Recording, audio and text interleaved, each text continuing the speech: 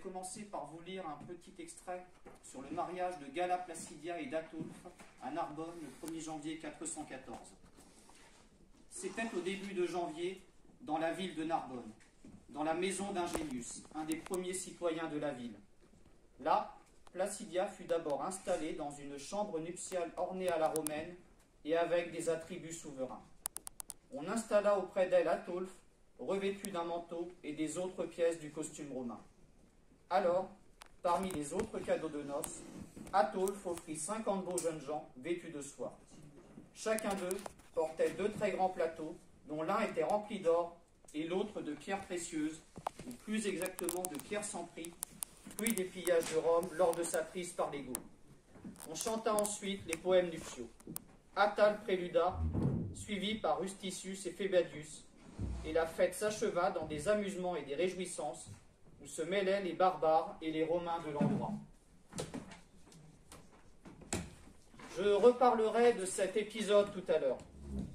Je vais vous parler aujourd'hui de Gala Placidia, la dernière impératrice de Rome qui a vécu de 388 à 450 après Jésus-Christ.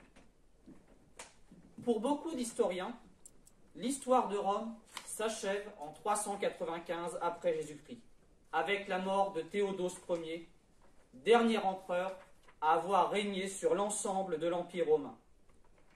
Pour d'autres, le sac de Rome en 410 marque la fin de l'Empire romain d'Occident. Des empereurs se succèdent sur le trône pour le décor jusqu'en 476, année où le dernier empereur est déposé.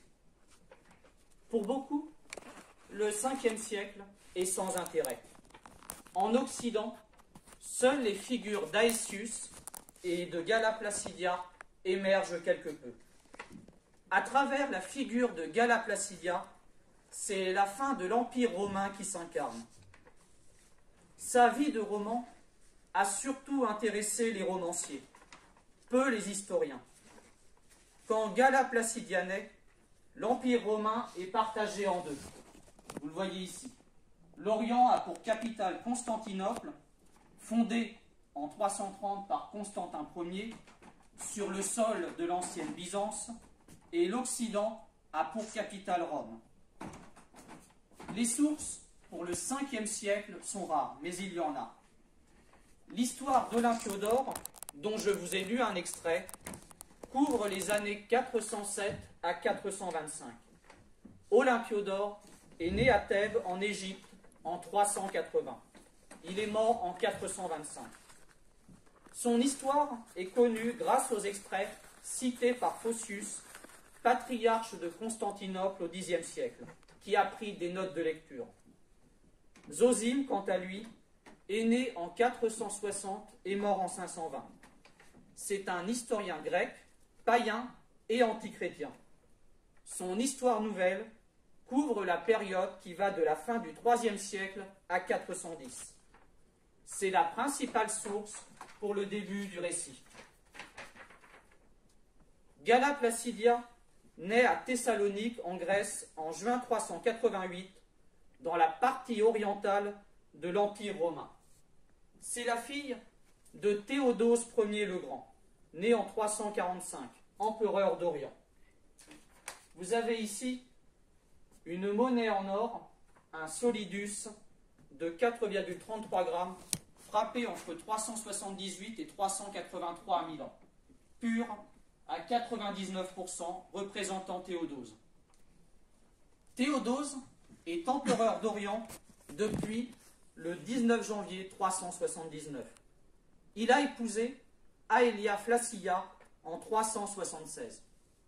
Le couple aura deux fils, Arcadius, né en 377, empereur associé, Auguste, depuis 383, et Honorius, né en 384.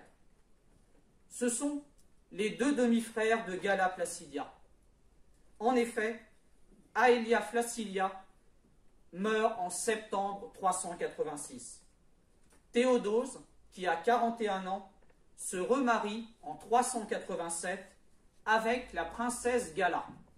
Gala l'ancienne, à ne pas confondre avec Gala Placidia. fille de l'ancien empereur Valentinien Ier. La princesse Gala a 16 ans. C'est l'âge normal pour le mariage des aristocrates romaines. Leur fille, Gala Placidia, euh, naît l'année suivante. En mai 392, Valentinien II, âgé de 20 ans, empereur d'Occident, meurt mystérieusement. Assassinat, suicide, mort naturelle, on ne sait pas. Un général franc se décide à proclamer un nouvel empereur pour l'Occident, l'empereur Eugène. Mais Théodose refuse de reconnaître ce nouveau collègue.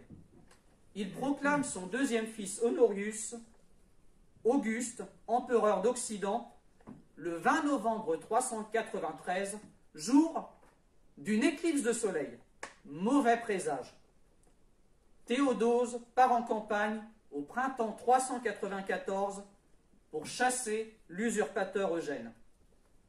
Au même moment, sa jeune épouse Gala, âgée de 23 ans, meurt en couche en mettant au monde un enfant mort-né. Elle avait eu, antérieurement, un fils nommé Gratien, mort avant Théodose. Gala Placidia n'aura pas de petit frère ou de petite sœur. Avant de partir en campagne, Théodose décide de confier la garde de sa fille Gala Placidia à sa nièce et fille adoptive Serena, âgée de 24 ans, cousine donc de, de Gala Placidia. Le 5 septembre 394, Eugène est vaincu et tué à la bataille de la rivière froide. Pour la dernière fois de son histoire, l'Empire romain a un maître unique et incontesté, Théodose. Mais pas pour longtemps. Ce grand règne ne va durer que quatre mois. La santé de Théodose se détériore rapidement. Il s'installe à Milan et fait venir auprès de lui Honorius et Gala Placidia, enlevant celle-ci à son demi-frère Arcadius. Théodose meurt le 17 janvier 395. Heureusement, comme nous l'avons vu, la succession est déjà réglée.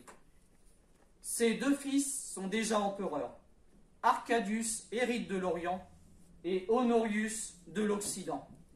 Honorius monte sur le trône d'Occident. Vous avez ici l'empereur Honorius par Jean-Paul Laurence, peinture de 1880, symbole d'un jeune et faible empereur sur le, sur le trône d'Occident. Honorius est dans sa onzième année, d'où la nécessité d'une régence entre guillemets. En effet, le mot régence n'existe pas à Rome. L'empereur, même jeune, détient désormais son pouvoir de Dieu et exerce une magistrature personnelle. On devrait plutôt parler de tutelle. J'emploierai le mot régence par commodité. La régence est confiée à l'homme fort du régime, Stylicon, généralissime des armées d'Occident. Un destin incroyable.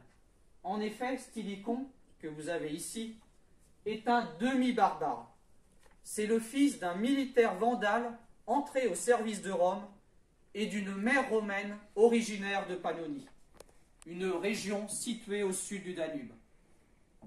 Vous avez ici Stylicon avec sa femme Serena et son fils Euchérius sur un diptyque en ivoire. En effet, j'ai bien prononcé le nom de Serena, car, chose incroyable, Stylicon a épousé Serena, la nièce de Théodose. Un barbare est entré dans la famille impériale. Honorius et Gala Placidia s'installent dans le palais impérial de Milan. Ils bénéficient, pour leur première formation religieuse, des enseignements dispensés par saint Ambroise, évêque de Milan depuis 374. Ambroise meurt en 397. En 399, Gala Placidia quitte Milan et son frère pour suivre sa tutrice et cousine Serena qui s'installe dans le palais impérial de Rome.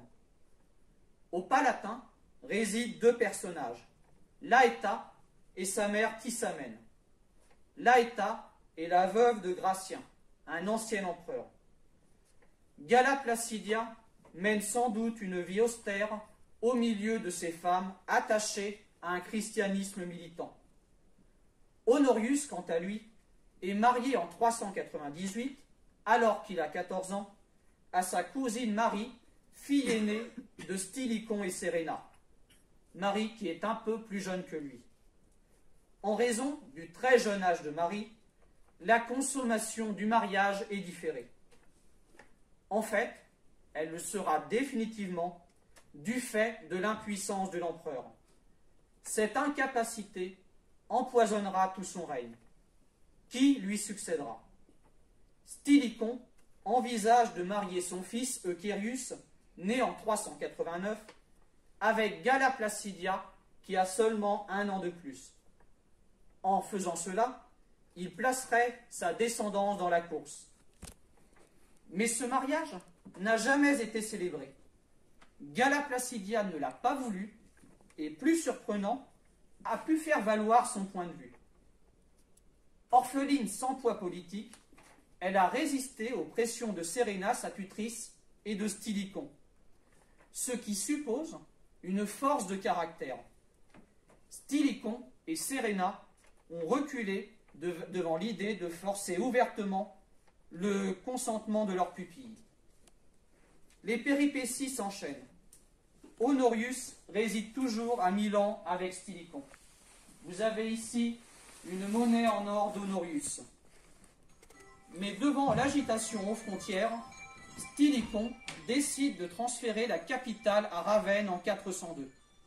C'est une ville insalubre construite sur une lagune au bord de l'Adriatique. Vous avez ici sa situation.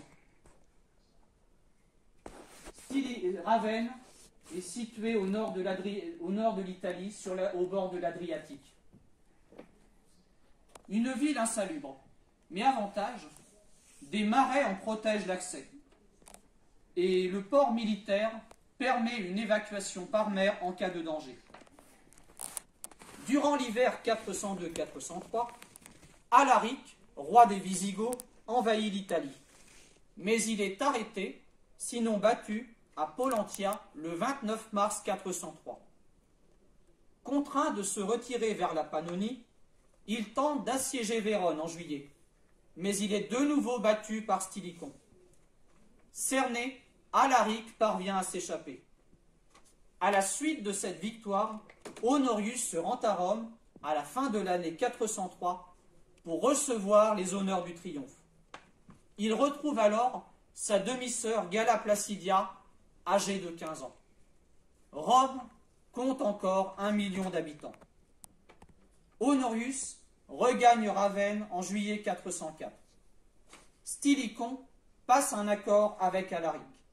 Les Visigoths sont autorisés à s'installer en Pannonie avec promesse d'intégration de ses troupes dans l'armée romaine et versement de 1000 livres d'or par an pour services rendus. À la fin de l'année 405, des barbares franchissent le Limès, une ligne de fortification aux frontières, et déferlent sur l'Italie du Nord. Ces bandes sont aisément arrêtées par les armées romaines commandées par Stylicon, et elles sont anéanties. Mais pour ce faire, Stylicon a dégarni la Gaule, d'où il a fait venir plusieurs légions. D'autres barbares en profitent. Le 31 décembre 406 a lieu l'événement fatidique. Trois peuples, les Vandales, des Suèves et des Alains, franchissent le Rhin à Mayence avec femmes, enfants, vieillards, esclaves, biens et bétail. Le fleuve était-il gelé? Aucune source antique n'en fait mention. Ils ont probablement traversé sur le pont après un habile coup de main. Le franchissement dure plusieurs jours. Combien ces barbares étaient-ils? Les Vandales, peuple dominant, étaient 80 000 en 429. 150 000 barbares, 200 000 tout au plus, ont franchi le Rhin. Les troupes locales, pour l'essentiel des Francs, tentent une contre-attaque et parviennent même à tuer le roi vandale. mais ils sont submergés par le nombre. À cause de l'absence de troupes romaines, les barbares envahissent la Gaule en se scindant en deux. Ils se rejoignent au pied des Pyrénées à l'été 407. Devant l'absence de réaction de Ravenne, la Bretagne, notre Grande-Bretagne, prend les devants en proclamant un simple soldat empereur. Les troupes bretonnes débarquent en Gaule pour chasser les barbares, avec à leur tête l'usurpateur Constantin III. Stylicon consolide la protection de l'Italie, en restant confiant dans la barrière pyrénéenne pour assurer la protection de l'Espagne. Il envoie en Gaule les Goths restés fidèles pour lutter contre Constantin et les barbares. Mais les Goths doivent regagner l'Italie dans des conditions difficiles. L'année 407 se termine tragiquement à la cour. L'impératrice Marie meurt. Thermancie, seconde fille de Séréna, que celle-ci avait gardée en réserve, succède à sa sœur en devenant la seconde épouse d'Honorius. En Orient, Arcadius meurt en mai 408, laissant un héritier, Théodose II, 408-450, âgé de 8 ans. Après avoir un moment songé à se rendre à Constantinople, Honorius et Stylicon finissent par y renoncer. À Ravenne, les intrigues vont bon train. Un eunuque finit par convaincre Honorius que Stylicon le trahit, que sa politique est trop favorable aux barbares et qu'il cherche à s'emparer du pouvoir. Stylicon et Honorius réunissent des troupes pour lutter contre Constantin et les barbares. Honorius passe les troupes en revue à Pavie le 20 août, le 20 août 408. Une révolte éclate. Les officiers supérieurs d'origine barbare, notamment Goths, sont massacrés sous les yeux d'un Honorius apeuré, mais qui a implicitement validé l'action. Désormais, plus d'intégration pour les barbares. Stylicon, réfugié dans une église de Ravenne, se rend peu après. Il est arrêté et décapité. Alaric ne rompt pas ouvertement, mais rassemble les Goths et réclame son dû, mille livres d'or par an. Mais Honorius refuse avec hauteur. Pour se servir, Alaric assiège Rome. Honorius, pendant ce temps, rompt tous les ponts avec la famille de Stylicon. Il renvoie son épouse Thermancie et il envoie deux sicaires qui assassinent Euchérius dans la Rome assiégée. Le Sénat de Rome négocie avec Alaric et finit par lui verser quatre années de solde, soit 1600 kilos d'or. Une grosse somme, mais une juste rétribution, car des mercenaires se payent. Alaric lève le siège et hiverne en Italie du Nord. C'est pendant ce siège que Gala Placidia fait son entrée dans l'histoire par un acte horrible.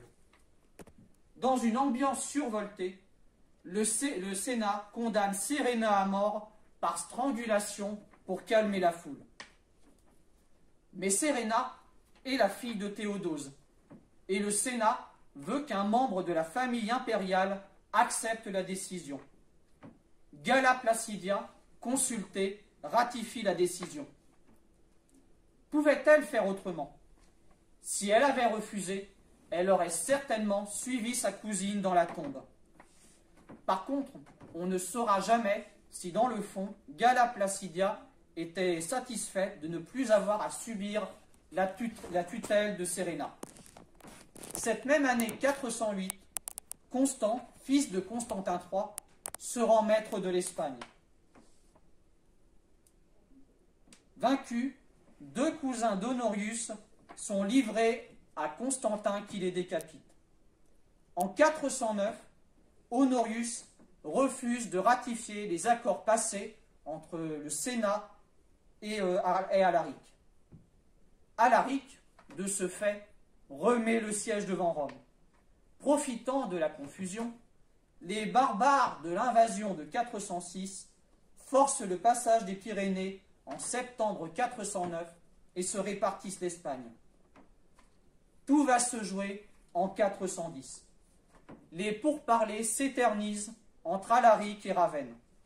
Mais ils, sont brusquement interrompus par une attaque de Sarus, chef des Goths rallié à Rome, qui veut empêcher la paix par haine d'Alaric. Alaric rompt toute négociation et met pour la troisième fois le siège devant Rome, poussé, dit-il, par une force mystérieuse qui lui échappe. La famine sévit dans la ville. Le 24 août, une patricienne fait ouvrir les portes pour mettre un terme aux souffrances inutiles de la population. Vous avez ici une peinture inspirée du sac de Rome, peint par Thomas Cole en 1836. Ce tableau fait partie d'une série de cinq tableaux intitulés Le destin des empires. Quatrième tableau, la destruction. Thomas Cole s'est inspiré de l'histoire de la décadence et de la chute de l'Empire romain d'Édouard Gidon. Alaric s'engage à évacuer la ville après trois jours de pillage. Il interdit de toucher aux églises. On note bien sûr quelques bavures, des incendies, comme celui des jardins de Saluste, ou quelques viols. Mais les murs sont intacts. Sur le plan militaire, le sac de Rome est une simple péripétie. Mais la portée symbolique est immense. Depuis Jérusalem, Saint Jérôme écrit Elle est donc prise, la ville qui a pris l'univers. Les Visigoths se retirent, emportant quelques otages, dont Gala Placidia. Alaric pense détenir en la personne de la demi-sœur de l'empereur un moyen de pression sur Honorius. Car les otages de qualité ne sont pas maltraités, ils sont promesses de rançon. Le roman Gala Placidia commence. Il va durer 40 ans. Une des principales sources de cette période est Paul Rose, prêtre né en Espagne, qui l'a fui en 414 son histoire contre les païens court jusqu'en 417. Les Visigoths se dirigent vers le sud de la péninsule, dans le but de prendre la mer pour la Sicile, puis l'Afrique. Car qui tient l'Afrique, grenier à blé, tient Rome. Mais les barbares ne maîtrisent pas la navigation. La flottille réquisitionnée dans les ports de pêche est anéantie par une tempête automnale. Alaric meurt quelques jours après. On ne connaît pas le lieu de sa sépulture. Atolphe, son beau-frère, lui succède. Il est plus hostile aux Romains. Il reprend la route du nord de l'Italie en passant près de Ravenne. Pendant ce temps, dans l'Empire, les usurpations se multiplient. Honorius prend une bonne décision. C'est plutôt rare. Il confie en octobre 410 le commandement de ses troupes au général Constance, âgé d'une quarantaine d'années. Les soldats des usurpateurs se rallient à lui ou sont vaincus. Constantin III, isolé, abdique et se fait ordonner prêtre pour avoir la vie sauve. Constance le lui promet. Le père et le fils se rendent pour être transférés à Ravenne. Mais Honorius ayant appris la mort de ses cousins, ordonne la décapitation des usurpateurs alors qu'ils sont en chemin. Les Goths entrent en Gaule en 412. Après de multiples revirements, Atolphe s'allie à Honorius, puis anéantit les troupes de Sarus qui s'étaient entre-temps brouillées avec Ravenne. Au début de l'année 413, Gala Placidia est toujours otage des Visigoths. Constance toucherait le pactole si elle était libérée. Il obtiendrait la main de la demi-sœur de l'empereur en récompense de ses services, ce qui le placerait en bonne position pour la succession au trône. Un accord est sur le point d'être trouvé. 600 000 mesures de blé doivent être livrées aux Visigoths en échange de la libération de la princesse, soit 120 000 quintaux de quoi nourrir 60 000 personnes pendant un an. Aujourd'hui, cela correspondrait à la production de 1500 hectares de terre bosphone. Mais au 5e siècle, c'était une affaire d'État.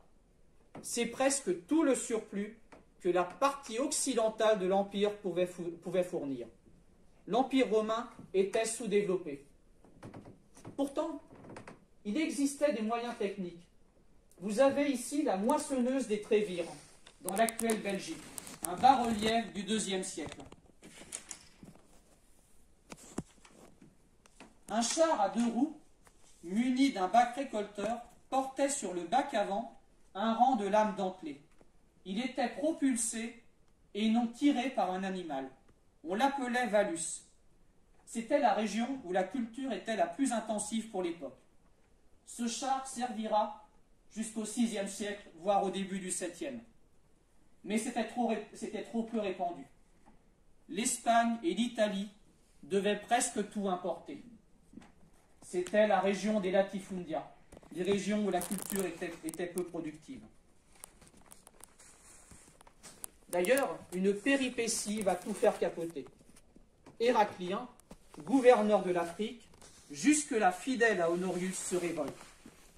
Il débarque près de Rome et marche sur Ravenne. Ses troupes sont battues. Héraclien revient à Carthage dans l'actuelle Tunisie, où il est arrêté et décapité. Mais sa révolte a interrompu les, livraisons du blé d'Afrique à l'Italie. De plus, une famine sévit en Gaule. La rançon en blé pour libérer Gala Placidia ne peut être versée. La princesse ne se laisse pas abattre. Elle va prendre une décision qui va changer l'histoire. Elle annonce qu'elle veut se marier avec Atulf, roi des Visigoths. Elle doit pour cela obtenir l'autorisation d'Honorius. Vous avez ici le seul portrait authentique de Gala Placidia, trouvé à Ténès en Algérie. Seul portrait authentique en dehors des, des monnaies. Il a été retrouvé dans une habitation romaine. Objet trouvé dans la tombe d'une aristocrate morte en 425 à 18 ans. Sa famille a fui le sac de Rome. L'aristocrate a emporté le portrait de la demi-sœur de l'empereur. Mais Honorius, comme à son habitude, ne prend aucune décision. Pourquoi ce mariage? Amour sincère? Syndrome de Stockholm? Attirance qu'une personne séquestrée éprouve pour son gardien? Raison d'État? Un peu de tout cela? Peut-être, se dit-elle, qu'il faut composer avec les barbares, que les deux peuples doivent fusionner. Il y avait pourtant une divergence de taille entre les deux protagonistes. Gala Placidia est catholique. Atolphe est chrétien, mais arianiste. C'est une hérésie qui considère que Dieu et Jésus sont deux personnes différentes. Jésus, créé par Dieu, est seulement de nature humaine et non divine. Les Visigoths avaient été évangélisés en 341 par l'évêque Ulfila, envoyé par Constance II, un empereur arianiste. Le mariage entre Gala Placidia et Atulf est célébré à Narbonne le 1er janvier 414, sans plus attendre l'autorisation d'Honorius. C'est l'extrait que je vous ai lu tout à l'heure. Un mariage haut en couleur. Atulf est costumé en général romain et Gala Placidia reçoit en cadeau les trésors provenant du pillage de Rome. Cette même année 414, les Visigoths errent dans toute l'Aquitaine. Ils finissent par passer en Espagne pour y attaquer au nom des Romains les barbares de la grande invasion de 406. Au début de l'année 415, Gala Placidia met au monde un fils, qu'elle et Atolphe nomment Théodose, un symbole romain. Mais ce bonheur sera de courte durée. L'enfant meurt au bout de quelques semaines. De plus, en août 415, alors qu'il inspectait ses écuries, Atolphe est poignardé par un de ses familiers qui ne supportait pas que le roi se moque de sa petite taille. L'ego avait un sens aigu de l'honneur. Un pro-romain devient roi, mais il est assassiné au bout d'une semaine. Le nouveau roi, Valia, renoue avec la politique d'Alaric Gala Placidia n'est plus reine, mais redevient un otage de haut rang. Valia tente lui aussi de passer en Afrique à la fin de l'année 415. Mais une tempête détruit les vaisseaux. Cet échec le conduit à rechercher la paix avec Honorius. On le voit, la maîtrise de la mer est cruciale.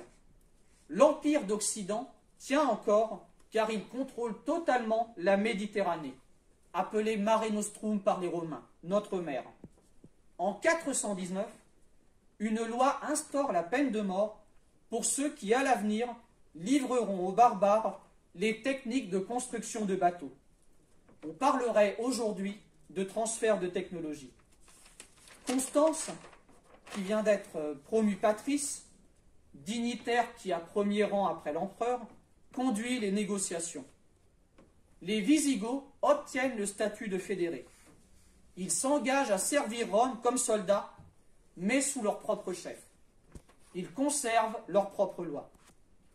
Ils obtiennent une partie de l'Aquitaine le long de la façade atlantique, mais sans accès à la Méditerranée. Toulouse devient leur capitale et ils reçoivent les 600 000 mesures de blé, rançon de Gala Placidia. Pourquoi obtiennent-ils ce territoire? Rome leur concède des terres non stratégiques. Les Visigoths n'ont pas accès à la mer. Ravenne garde le contrôle des voies de communication terrestre le long de la Méditerranée en conservant Barcelone. De plus, l'Atlantique n'a aucune importance économique.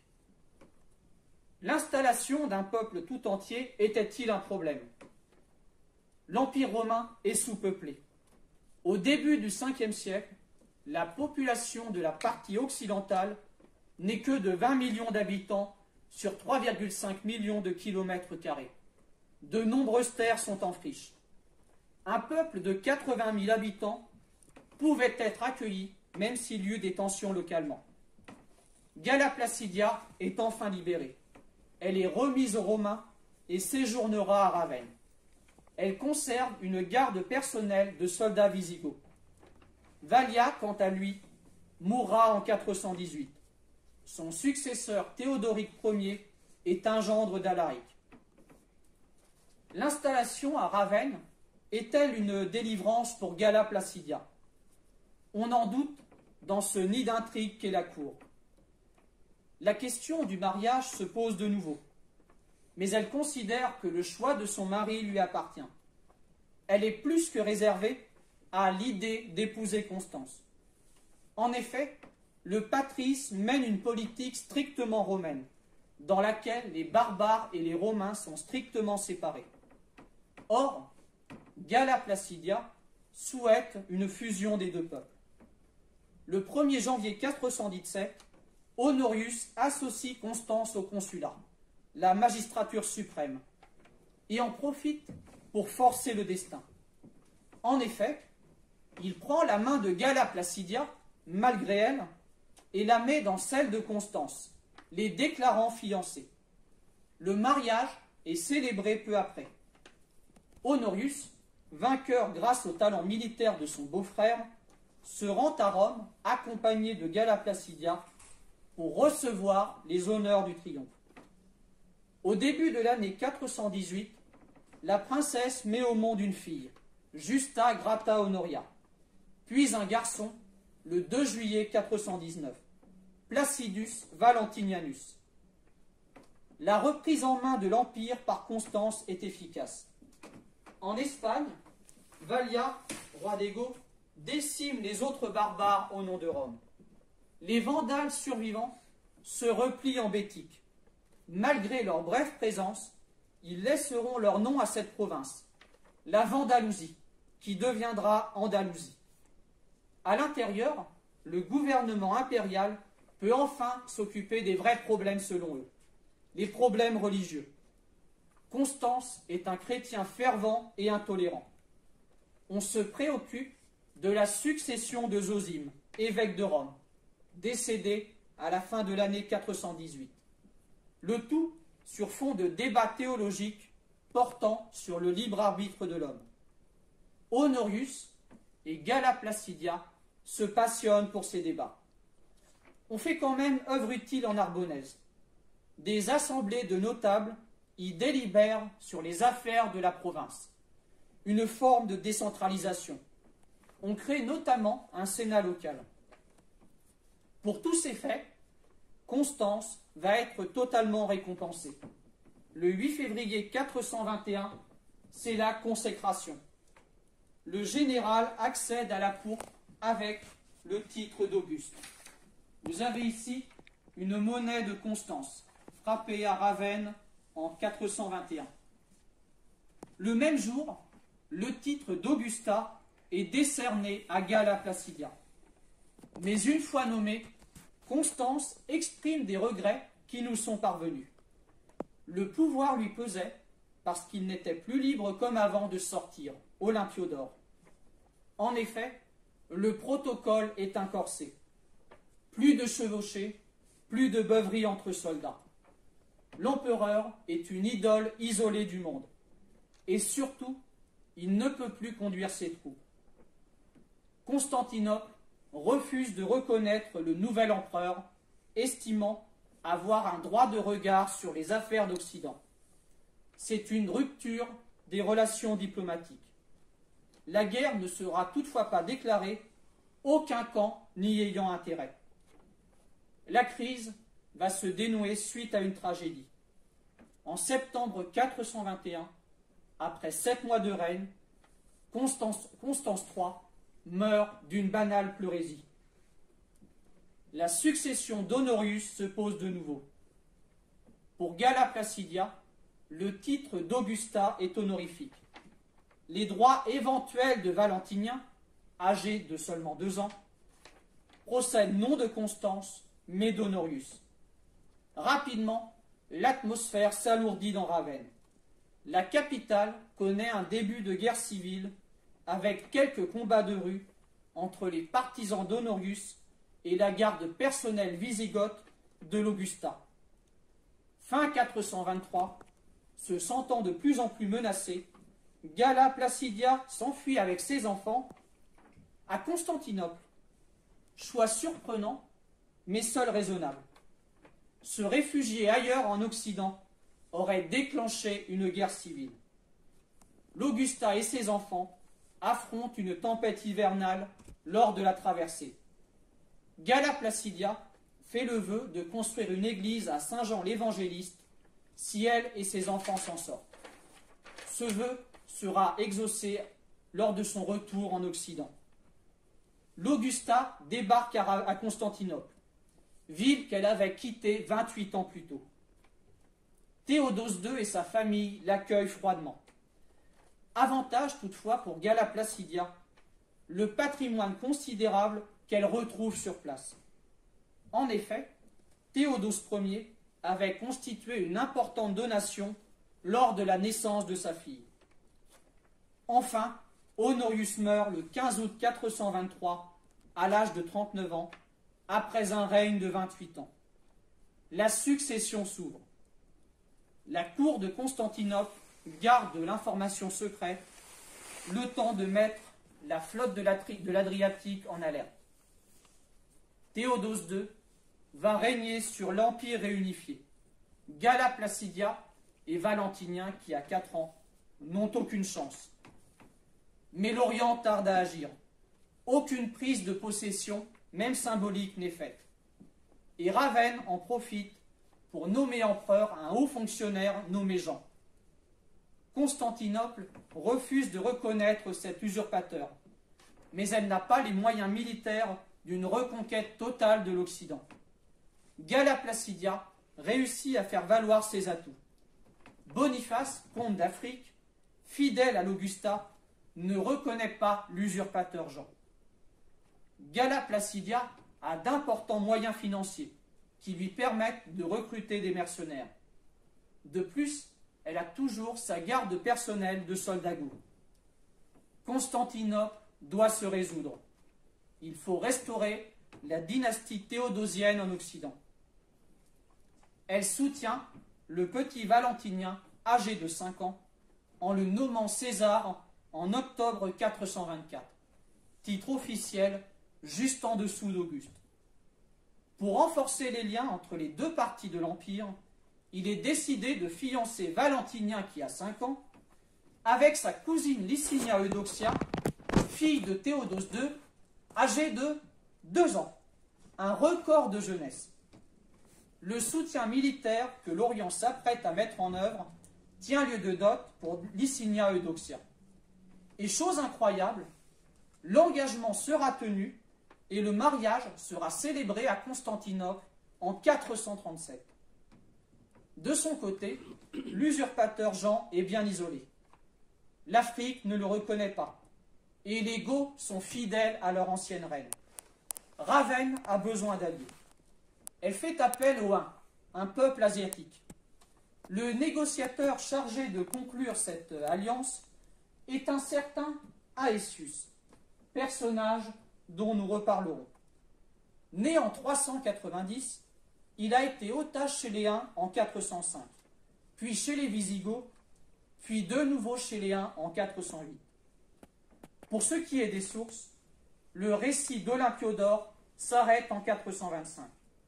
La principale source sera dorénavant Idas. Né en 395, il sera évêque en Espagne de 427 à 469. Ses chroniques vont de 379 à 469. En mars 425, l'Orient tente de débarquer un corps expéditionnaire sur la côte adriatique de l'Italie. Mais une tempête disperse la flotte. Deux galères échouent sur le littoral italien et le chef de l'expédition est fait prisonnier. De façon surprenante, Jean épargne celui-ci et le laisse même en semi-liberté dans Ravenne. Quelques semaines plus tard, les troupes d'Orient avancent en Italie du Nord. Gala, Placidia et ses enfants leur emboîtent le pas. Le chef de la flotte, bien que prisonnier, réussit à faire passer des informations sur les itinéraires d'accès au milieu des marécages. Ravenne est occupé presque par surprise. Quelques jours plus tard, Aesius débouche dans la plaine du Pô à la tête de trente mille uns devenus inutiles. Il doit renvoyer dans leur foyer ses encombrants alliés et faire allégeance au nouveau pouvoir en espérant que cet écart sera oublié. Mais ce ne sera jamais le cas.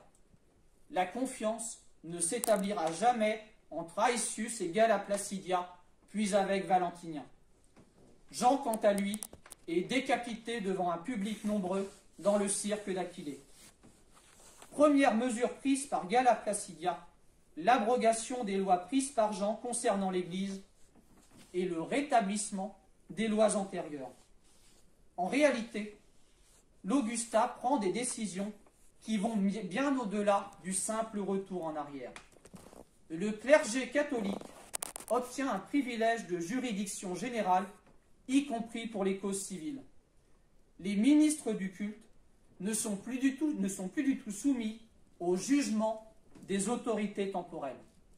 C'est l'indépendance judiciaire de l'Église. Gala Placidia a été manipulé. Pour ce qui est de la restauration de la dynastie impériale en Occident, Théodose II décide de promouvoir Valentinien à l'Augusta. Le 23 octobre 425 a lieu à Rome l'intronisation de Valentinien III qui a 6 ans. Sa sœur Honoria reçoit le titre d'Augusta. Félix, un haut fonctionnaire, devient maître de la milice, commandant des armées d'Occident. En mars 426, la famille impériale réintègre Ravenne. Pour Gala Placidia, c'est la fin de l'errance. Elle y séjournera quasi définitivement jusqu'à sa mort. Vous avez ici une monnaie en or de Gala Placidia frappée à Ravenne. L'Augustin exerce la régence, qui doit s'articuler autour de deux idées fortes l'intégration des barbares et la défense du catholicisme. Mais les problèmes sont nombreux. Les Visigoths ont profité de la guerre civile pour avancer vers la Méditerranée. Aesius, après son ralliement à l'impératrice, force ses barbares à lever le siège d'Arles. On note aussi la même année, les incursions des Vandales dans les îles Baléares, des lieux non stratégiques. Mais surtout, Gala Placidia commet une faute qui va peser lourd. Boniface, comte d'Afrique, a toujours été fidèle à l'impératrice. Veuf, il se remarie à Pélagie, de religion arianiste.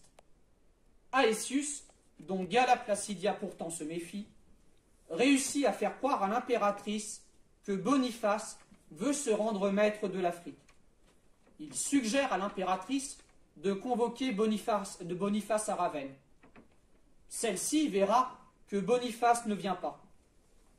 Aesius prévient Boniface de sa convocation à Ravenne et de ce qu'il est perdu dans l'esprit de l'impératrice.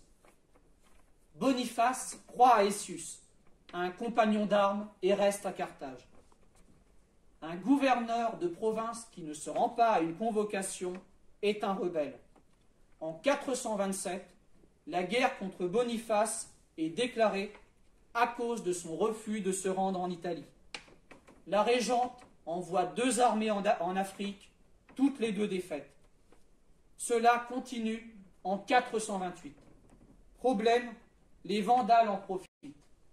Jean Séric, leur roi depuis un an, organise en mai 429 la traversée du détroit de Gibraltar. Vous avez ici une monnaie de Jean Séric, frappée entre 440 et 477 à Carthage. C'est une silique, une monnaie en argent de 1,54 g. Inscription Notre Seigneur Honorius, Auguste perpétuel. Honorius est mort en 423. C'est l'imitation d'une monnaie romaine. En mai 429, donc, Jean Séry traverse le détroit de Gibraltar. Il est aidé par des pirates. Le peuple vandale dans son entier, soit 80 000 personnes, soldats, femmes, enfants, vieillards, esclaves, part de l'Andalousie pour débarquer au nord-est du Maroc. Avec le, recul, les expéditions maritimes aux Baléares en 425-426 apparaissent comme des grandes manœuvres leur permettant de peaufiner leur technique de navigation. C'est un vrai événement. J'insiste là-dessus, le mot événement est tellement galvaudé, on l'utilise pour tout et n'importe quoi. Des barbares sont devenus marins. Pour Rome, la maîtrise de la mer n'est plus totale. À quoi tiennent les succès des Vandales? L'Afrique ne dispose que de 5000 hommes de troupes et de supplétifs peu aguerris. En temps normal, c'est suffisant pour repousser les incursions des morts et pour établir l'ordre en cas de troubles civils. De plus, le débarquement s'est fait dans une région excentrée dépourvue de troupes. Une action énergique pourrait venir à bout de ces barbares. Les Vandales ne sont pas très nombreux. Ils sont 15 000 combattants à tout casser. Mais l'Empire a sous-estimé le danger. Pour Ravenne, la Gaule reste le front principal où on lutte contre les barbares et les bagaudes, des vagabonds s'assemblant en forces armées. Aetius négocie avec les Francaliens qui peuvent s'installer comme fédérés. Mais le général ne dégarnit pas ce front pour secourir l'Afrique. Seule aide appréciable apportée à l'Afrique, la lutte contre les, exactions fiscales dans cette province. À Ravenne, Gala Placidia découvre les manœuvres d'Aesius. Ne pouvant sanctionner son général, elle essaye de rattraper les choses avec Boniface et y parvient grâce à un intermédiaire. Boniface combat les Vandales, mais il est défait et se replie dans Hippone, qui est assiégé en mai 430. L'évêque Saint Augustin y meurt le 28 août au quatrième mois du siège. Vous avez ici Saint Augustin dans son cabinet de travail, peint par Botticelli en 1480, conservé dans une église de Florence. Les Vandales lèvent le siège en juillet 431. Une opération combinée des deux empires se solde par un échec à l'automne 431. Boniface rentre en Italie à la fin de l'année 431. Jusqu'en 434, les combats se poursuivent et les Vandales sont contenus. Hippone est abandonné par ses habitants et la ville est brûlée par les barbares. Les Romains sont toujours maîtres de Carthage, protégés par ses fortifications. Pendant ce temps, en 430, Aetius fait assassiner à Ravenne, sur les marches de la cathédrale, le patrice Félix, promu l'année précédente, ainsi que son épouse. Aetius devient patrice. Le 1er janvier 432, le consulat récompense même ses succès militaires en Gaule. Il faut souligner que l'armée romaine est toujours victorieuse en race campagne contre les barbares. Cependant, Boniface, lavé de tout soupçon, est élevé à la dignité de grand maître de la milice à la place d'Aesius. Celui-ci passe en Italie avec sa garde personnelle pour affronter Boniface. La bataille a lieu non loin de Ravenne. Aesius est vaincu, mais Boniface, blessé, succombe à ses blessures trois mois plus tard. Le plus fou, c'est qu'Aesius, devenu veuf, se remariera avec Pélagie, la veuve de Boniface, en 438. Aesius trouve asile chez les Huns et revient avec ceux-ci. Gala Placidia négocie avec Aesius, qui est rétabli dans ses fonctions en 432. En février 435, les Vandales concluent un traité avec l'Empire. Ils conservent une partie de l'Afrique et s'engagent à payer un tribut annuel à l'Empire. En 435, Aesius défait les Burgondes révoltés avec l'aide des Huns. Le 2 juillet 437, Valentinien III atteint sa majorité. Vous avez ici un solidus de Valentinien III de 4,44 grammes frappé à l'atelier de Ravenne entre 430 et 445. Gala Placidia devient impératrice honoraire. Le 29 octobre, le mariage de Valentinien III avec sa cousine Licinia Eudoxia est célébré à Constantinople. Le couple y reste deux mois jusqu'à Noël. Ils visitent ensuite la Grèce et rejoignent Ravenne au printemps 438.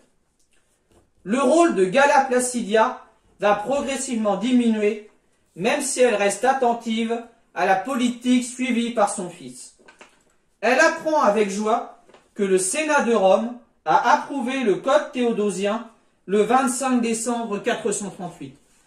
Vous avez ici une copie du Code théodosien du VIe siècle, datant des Mérovingiens. La première partie du livre 6, les livres 7 et 8 sont conservés. Ils ont été écrits dans la région Burgonde en écriture onciale. Cet exemplaire est conservé à la, BNF. C'est le plus ancien exemplaire conservé en France.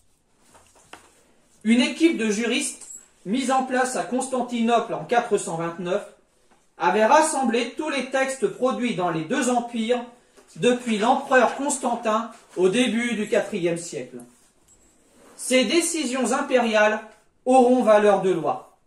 On ne peut produire que ce qui est dans le code. Commun aux deux empires, ce code comprend 2503 lois auxquelles l'empereur lui-même est soumis. Les faits suivent leur cours. Au premier semestre 440, Valentinien III séjourne quelques mois à Rome. Il s'y établit même de façon presque continue à partir de 445. C'est la preuve que l'Italie est en grande partie pacifiée. De plus, l'empereur se rapproche de l'aristocratie sénatoriale, ce qui lui permet de consolider son pouvoir face à Aesius. Gala Placidia reste à Ravenne.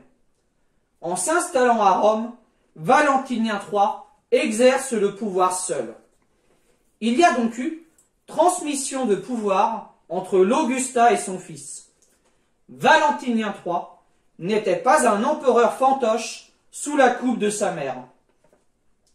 Mais une des grandes préoccupations de Gala Placidia reste la religion. En 440, Léon Ier le Grand 440-461, succède à Sixte III comme évêque de Rome. Vous avez ici la rencontre entre Léon Ier le Grand et Attila, fresque de Raphaël de 1513-1514, peint au palais apostolique du Vatican. Gala Placidia encourage la centralisation du pouvoir spirituel autour de l'évêque de Rome. Léon Ier a conscience que l'effacement de l'autorité impériale est suivi de l'effacement de l'organisation ecclésiastique. La papauté agit dans les régions où les fonctionnaires impériaux n'ont plus accès. Léon veut également obliger les métropolitains d'Orient à reconnaître la primauté romaine. Il n'y réussira pas totalement. Plus généralement, les ecclésiastiques sont écoutés. En 448, une grande partie de la Gaule se soulève. Pour réprimer la révolte, Aetius envoie le roi des Alains fixé dans la région d'Orléans. L'évêque Germain d'Auxerre, de retour de Bretagne, intercède en faveur des rebelles. Il ne s'adresse pas à Aetius, mais au roi des Alains. Germain prend la bride du cheval du barbare. Le roi des Alains promet de ne pas s'avancer au-delà de la Loire si Germain obtient d'Aesius ou de l'empereur le pardon de la Gaule.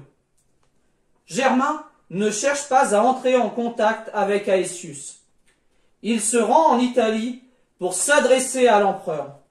Il destine son intervention à Gala Placidia, dont le prestige est intact. Valentinien séjourne alors à Ravenne. Germain arrive à Ravenne de nuit, mais la population informée l'attend dans des rues éclairées de flambeaux. L'empereur accorde un plein pardon aux Gaules si la révolte ne se renouvelle pas. Aesius est désavoué. Germain meurt à Ravenne le 31 juillet 448. Son corps sera ramené à Auxerre.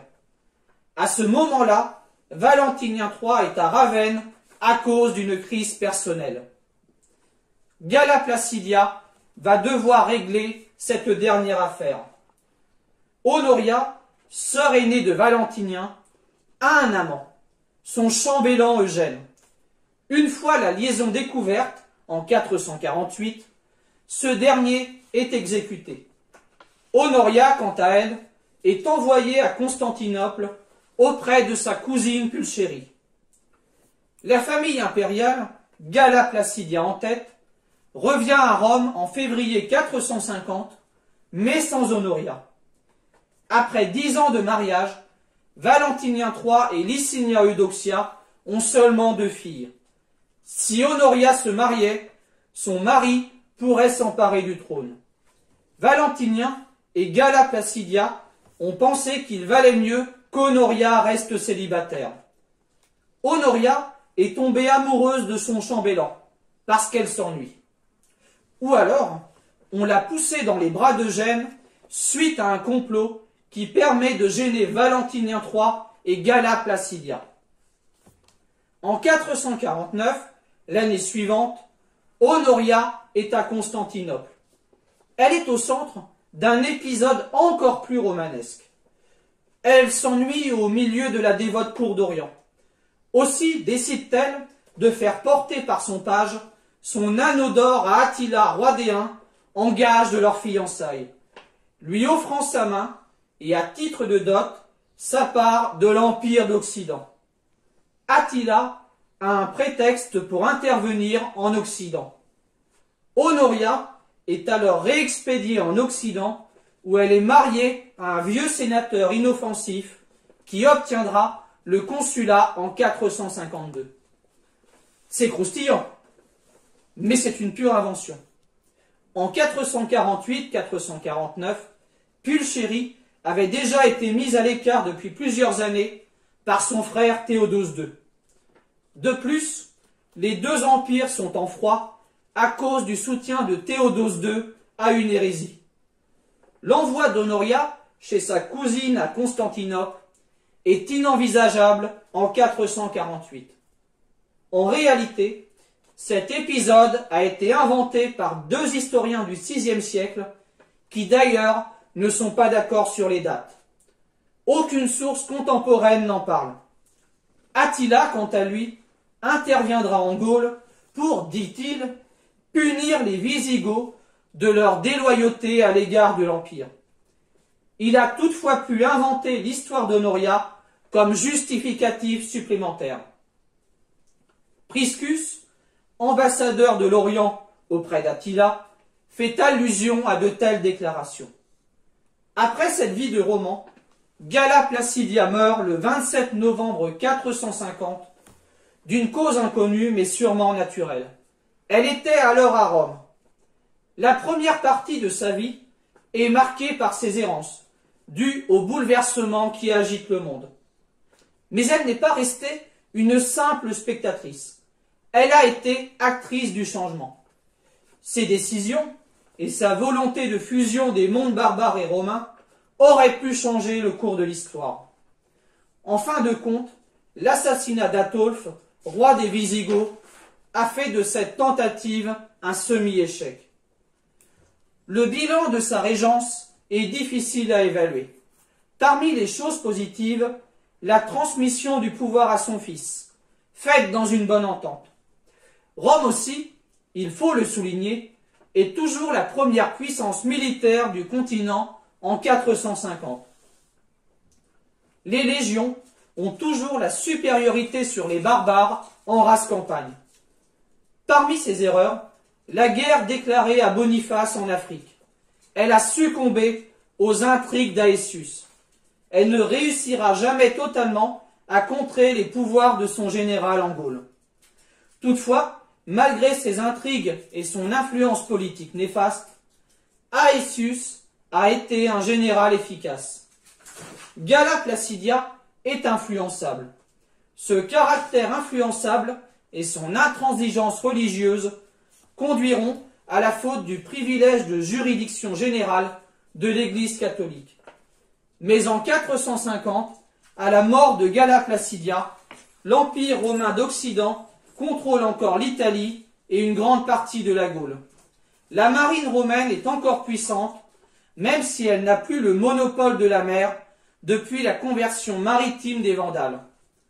En réalité, la chute de l'Empire a eu lieu après la mort de Gala Placidia.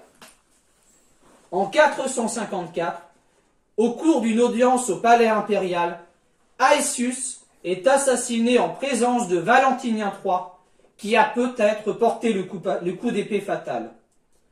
En 455, lors d'une revue militaire, deux soldats antérieurement au service d'Aesius tuent Valentinien de deux coups d'épée. Ensuite, c'est la confusion la plus totale. Neuf empereurs se succèdent en 21 ans. Le 4 septembre 476, Odoacre, roi des Hérules, dépose le jeune Romulus Augustus à Ravenne. Une chute sans bruit, sans armée écrasée ou ville comme Ravenne incendiée.